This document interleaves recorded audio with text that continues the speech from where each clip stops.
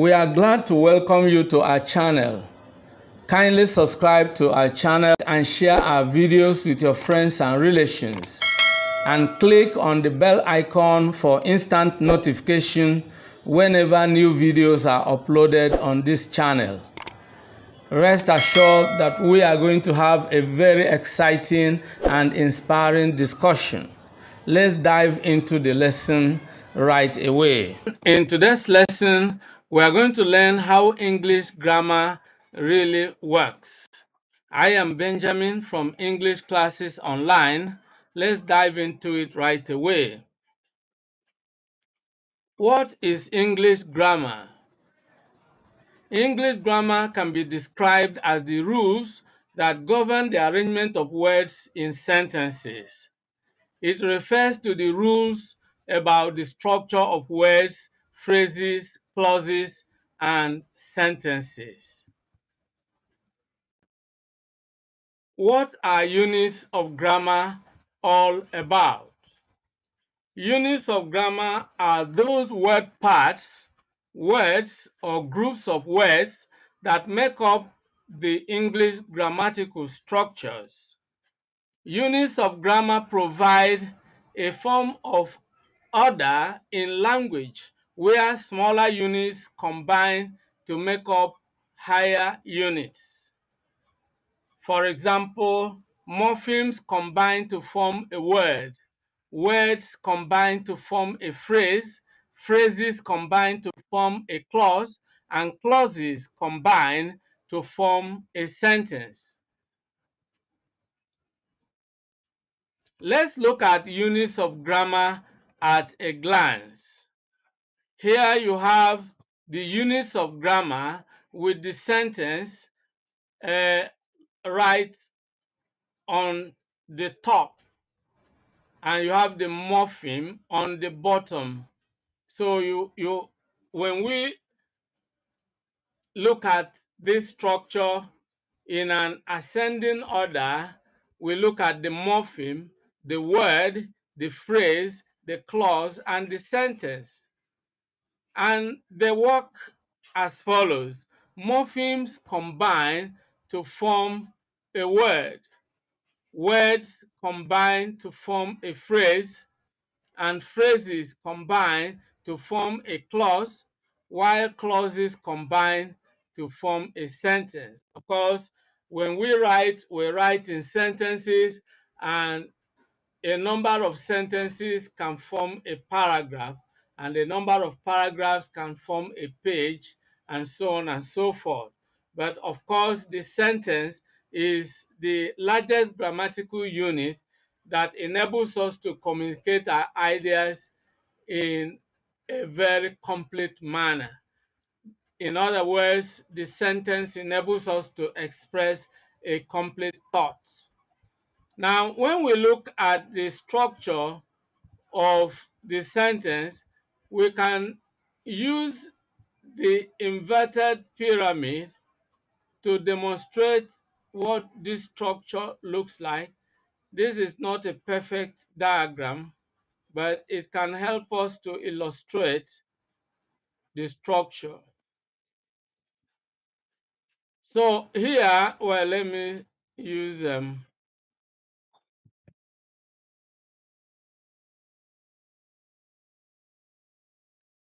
Here we have sentences. Let's call sentences S, followed by the clauses.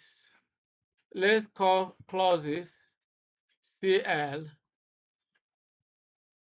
Then followed by the phrases. Let's call phrases PH.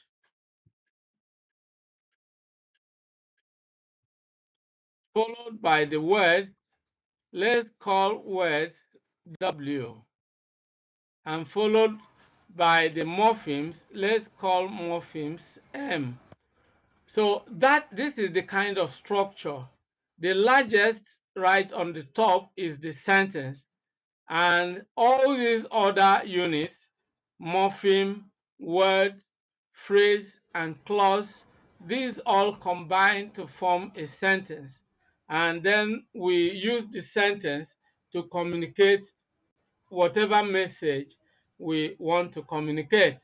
That is how English grammar works. But let's now begin to look at all this in some greater detail. Okay? Let's begin with the morpheme. A morpheme is the smallest indivisible unit of language that sets meaning apart. And as we earlier mentioned, morphemes combine to form a word. For example, in this sentence, we have 22 morphemes. The obedient boys were working in the garden while their disobedient brothers were playing in the field. We have 22 morphemes, and as we earlier mentioned, morphemes combine to form a word. So you have boy plus s, these are two morphemes that will give you the word boys. Then you have working. Work plus ing gives you working. Disobedient. This plus obedient gives you disobedient.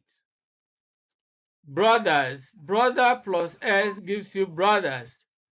Playing. Play plus ing gives you playing. So i- this shows how morphemes combine to form a word. Now let's look at the word. A word is a single, distinct, meaningful unit of language that can be spoken or written. And as we already mentioned, words combine to form a phrase. So in the sentence we earlier mentioned, we have 17 words, whereas we counted 22 morphemes in the same sentence, but we learned that morphemes combine to form words. So we have 17 words formed by 22 morphemes. The disobedient boys were working in the garden while their uh, the obedient boys were working in the garden while their disobedient brothers were playing in the field. 17 words. And then how do words combine to form a phrase? Let's look at it uh, in this way. When you look at the disobedient boys, you have three boys combining to form what we call noun phrase. We can call it NP. We're working. Where and working are two words that combine to form, well, let's use a different color.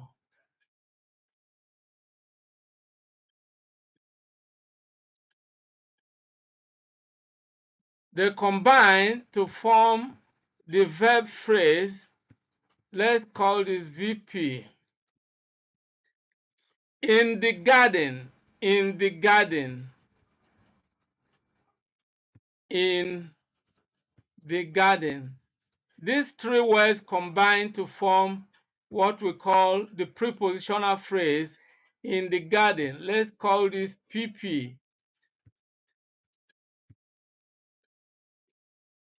While they are disobedient brothers, disobedient brothers. They are disobedient brothers. You have three words again combining to fall, form another noun phrase. So here you have a second noun phrase. We are playing. So we are playing is another verb phrase. We are playing. We're playing. And this is what we call the verb phrase. We call this VP. Verb phrase. In the field. In the field is another prepositional phrase. In the field. This is another prepositional phrase. We call this PP. Okay? So that's exactly the way it is. The disobedient boys were working in the garden while their disobedient brothers were playing in the field. Okay? The disobedient boys, one noun phrase, were working, verb phrase, in the garden, prepositional phrase, um, while their disobedient brothers, okay? So you can see. So we have six phrases here, 17 words here combined to form six phrases. All right, we have two noun phrases, two verb phrases, and two prepositional phrases.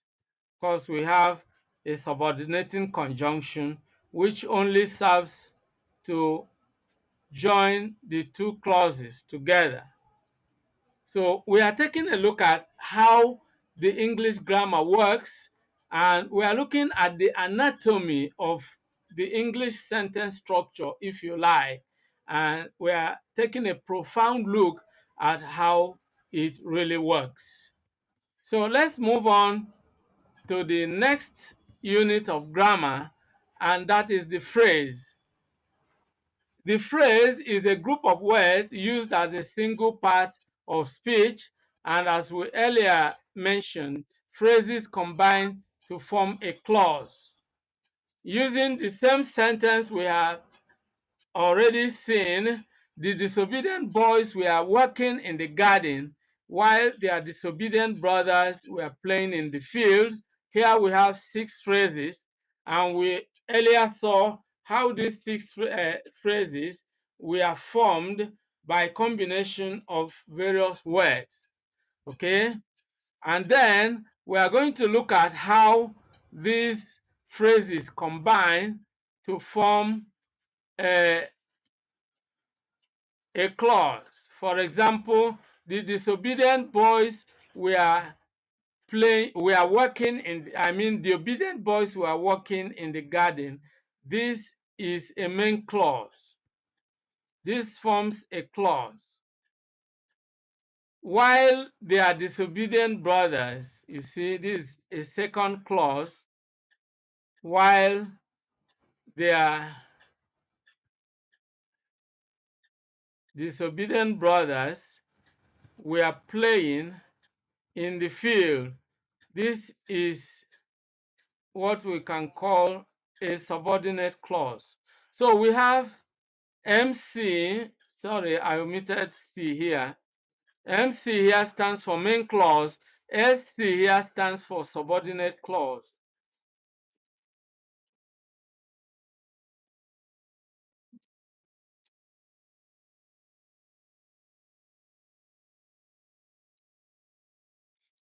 This is S, please.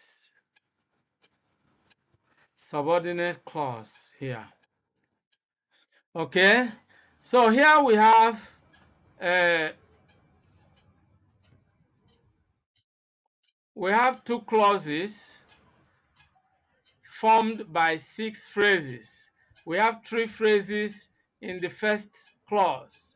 The disobedient voice, one phrase, we are working, another phrase, in the garden, another phrase, three phrases combining to form the main clause here.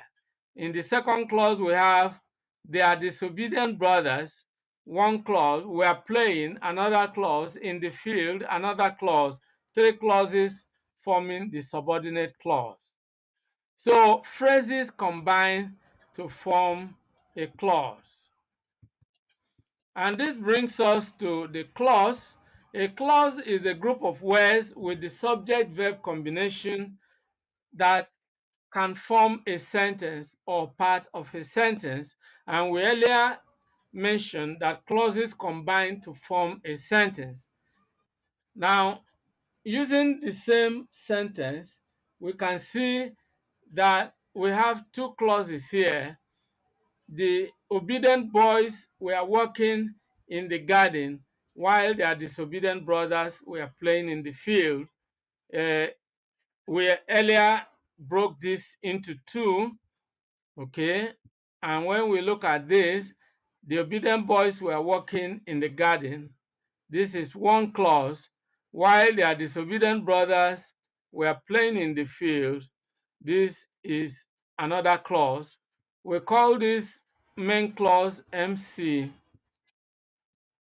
and we call this subordinate clause SC. So clauses combine to form a sentence. So here we have two clauses, okay, and they combine to form this single sentence. So that is exactly the way it works. And so now we are going to look at the last but not the least.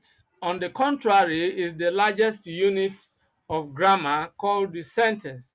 The sentence is a group of words with the subject-verb combination that can express a complete thought. And as we earlier mentioned, it is the highest unit of grammar that is used to convey complete meaning. When we speak or write in sentences, we express complete thoughts and we convey complete meaning. Now, all the other units of grammar all combine to form this single sentence. The obedient boys were working in the garden while their disobedient brothers were playing in the field. This is one sentence, and this one sentence is made up of 22 morphemes, all right, uh, which combine to make up 17 words, which in turn combine to give us six phrases. And the phrases combine to form two clauses, and the two clauses combine to form this single sentence. This is really how the English grammar works. We have looked at the anatomy of the English grammar. We have split the structure of the English sentence into its units, its parts, and we have looked at how they all combine meaningfully to form the higher units until the highest unit of grammar is formed, which is the sentence. Now, let's move on to the summary. Uh, and in summing up, as you must have noticed, a sentence is not just any group of words. It is not simply a combination of words. The words are combined systematically to form higher units, which combine to form the next higher units until the highest unit of grammar is reached, and that is the sentence. When a sentence is formed, then we have formed or constructed the grammatical unit that enables us to communicate our ideas effectively and meaningfully. In the above sentence, as we have seen, 22 morphemes combine to form 17 words. These 17 words combine to form six phrases, which in turn combine to form two clauses. The two clauses ultimately formed a sentence. And this brings us to the end of today's lesson. I hope you enjoyed the class. If you did, make sure you like the video and share it with your friends and relations. If you have any questions, comments, or suggestions, kindly leave them in the comment section below. See you in the next class. Many thanks for watching today's video. A big thank you to all of you out there for being part of today's episode. I hope you enjoyed the video. If you did, kindly subscribe to this channel. Subscribe now as a way of giving us support. For notification about new videos, click on the bell icon. Icon. Click on it so that whenever a new video is uploaded, you will be instantly notified. If you have actually enjoyed the video, like and share the video with your friends and relatives. This is very important. If you have any comments, leave your comments below any questions, any suggestions, we would gladly receive them and respond promptly and positively to them. See you in the next video. I look forward to always seeing you in the new video. Thank you and